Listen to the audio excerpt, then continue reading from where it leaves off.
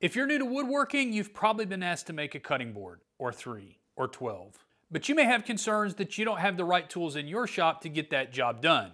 Well, in this video, I'm gonna show you how I made these simple cutting boards with only a few tools, and along the way, I'm gonna give you lots of great tips and advice to get you started. All right, so I'm gonna be using hardwoods for these cutting boards, and I've got some walnut, maple, and some cherry that are all leftovers from other projects, and they're all about two feet long. I would definitely stick with hardwoods for these kinds of projects and stay away from stuff like pine, fir, or cedar. Those are all way too soft, and they'll make your food taste like a, uh, um, yeah. Then one of the challenges that you might face as a new woodworker is what to do if you don't yet have a jointer or a planer. Now these tools are critical to have in your shop because they do give you the ability to mill your own rough sawn lumber, but you don't have to let that stop you because most hardwood lumber dealers offer the chance to buy pre-surfaced lumber. Now what that means is they've already done the planing for you and in a lot of cases they've ripped a straight line edge along one side of the board so you can take that right to your table saw and start cutting it right away. So I started out by trimming off the rough edge of each board. This way I have two parallel edges for reference and I know that each board is the same width all the way down the length of the board. That's important for the next step in the process. I want to cut some different size strips off of each board so that I can mix and match them to create some different color combos. Now I find it safer to cut these strips on the opposite side of the blade from the fence and I like to use this little trick for getting the same width strips repeatedly. I just set one strip against the blade to use as a reference and then I adjust the fence until my board matches it. Easy peasy, and I just repeat that same process until I get a few strips from each board. Oh, and I probably don't need to say this out loud, but you don't have to have a fancy big table saw in order to make your first cutting boards. I was doing this same thing with a portable table saw seven or eight years ago just fine, and you can too. The main key is to make sure that your saw can hold a perfect 90 degree angle since you may not have access to a jointer. Now, normally cutting boards are made from lots of narrow strips all glued together, but also normally I'd have my planer or my drum sander to flatten those. But in this case, I'm recommending that you use the widest boards you can find for this project, at least 9 or 10 inches wide. I don't usually do that, but since I won't be using my planer, my glue ups need to be super flat, and the fewer glue joints that I have in this, the better chance there is of getting a flat glue up. Next, I cut off about the top inch or so of each board, and this is going to allow me to sandwich those other strips in between. All right, with all my strips cut, now it's time to design these boards. Since I'm using three different hardwoods, I want some of each kind to be in every board. This walnut board will get two maples and a cherry. The maple board will get two cherries and a walnut. And the cherry board will get two maples and a walnut. These three colors go so well together, and I think each of these boards looks pretty great. But most importantly, each board is only going to have four glue joints. Speaking of glue ups, let's go ahead and take care of that now. I have a few tips for glue ups here that I'm going to give you.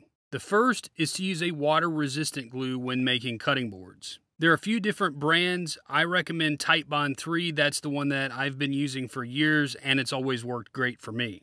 Also, we want enough glue but not too much because we really want visibility to those glue joints to make sure they are nice and even. So I'd use a glue bottle here that can give a nice fine bead of glue. I personally love using condiment bottles just for this reason. Now you could use a brush or roller to spread this glue, but I'm just going to use the spreader that I already have on the end of my hand. Once I get all my pieces glued up, I began adding the clamps slowly. I'm really trying to be as careful as I can here because things are going to want to slide around and go up and down and all over the place and I don't want that.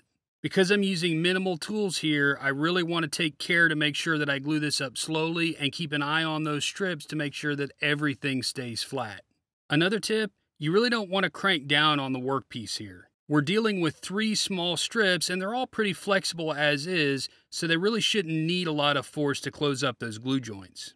If you're getting a nice line of squeeze out all along each joint, then you have enough clamping pressure. Cranking down too hard on the clamps is not only going to starve the joints of glue and possibly lead to a failure down the road, but it can also introduce tensions in the wood which could cause warping and you don't want that. One way to check your joints is to clean off the excess glue now, and I find that a little water helps with this.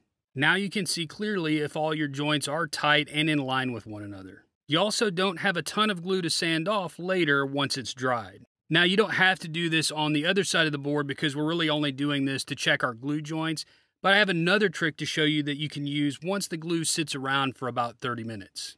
If you grab yourself a paint scraper or something similar, just run it along those glue joints and the glue is going to come off pretty cleanly. This is not nearly as messy as trying to clean it up while it's still wet. Okay, final glue up tip.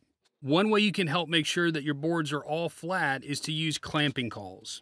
I like to just use strips of plywood with packing tape on one side to prevent the glue from sticking. Just add a caul to each end of the board and clamp them down before you clamp the board together.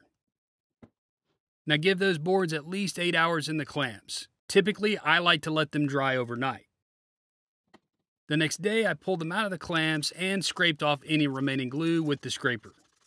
Next, I trimmed these boards to final width using my crosscut sled. I started by trimming the ends, and then I cut each board to 10 inches in length. Another tip here is to always reference the same side of the board against the fence for every cut. This will make sure that each cut is square to that side of the board. If you haven't made a crosscut sled for your table saw yet, you can also use your miter gauge to do this. And also, I do have plans available to make this sled that I'm using here, so if you're wanting to give this a try, I'll leave the links in the description to the build video as well as the step-by-step -step plans. Alright, now you can see here how grippy this shelf liner is. My first tip for sanding is to grab a pencil and mark up your boards. When you've sanded all the pencil marks off, this is a good indicator that you can stop sanding and move on to the next grit. And for these boards, I'm going to start sanding at 180 and then go to 120, 180, and 220 grit.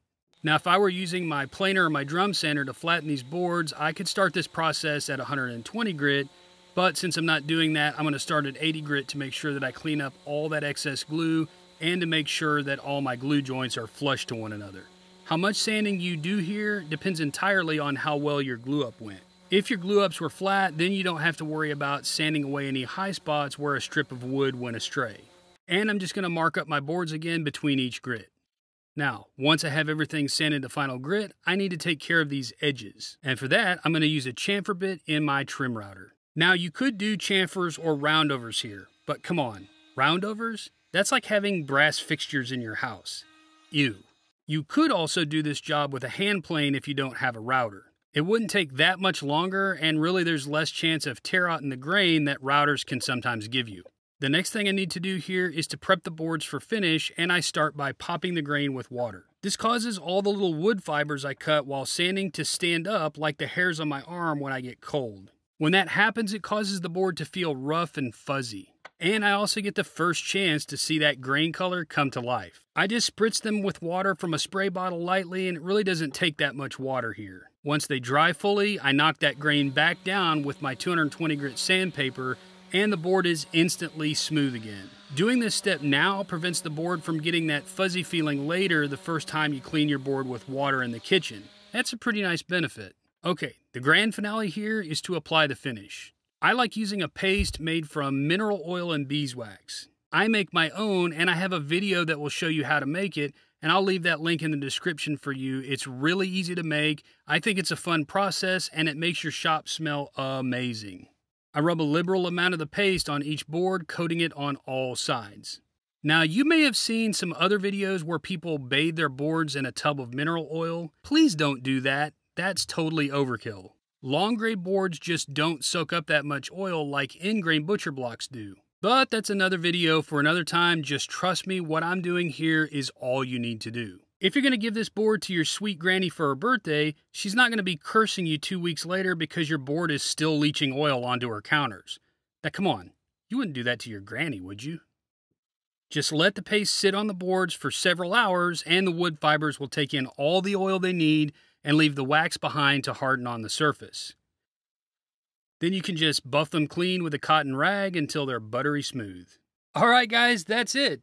You've made your first cutting board. These little cutting boards are awesome gifts. They're easy to make and they're great to have around the kitchen when you just need to cut up something real quick. Now, if you guys like this video, I would really appreciate a thumbs up below. And also, if you have any other questions, please leave those below in the comments. I would love to answer those for you. Also, make sure that you hit that icon to subscribe to my channel, and please hit the bell icon so that you're notified the next time I release a new video. Speaking of videos, I've got a couple other ones lined up here that I think you guys would really enjoy. So go ahead and check those out. And until next time, have fun in the shop.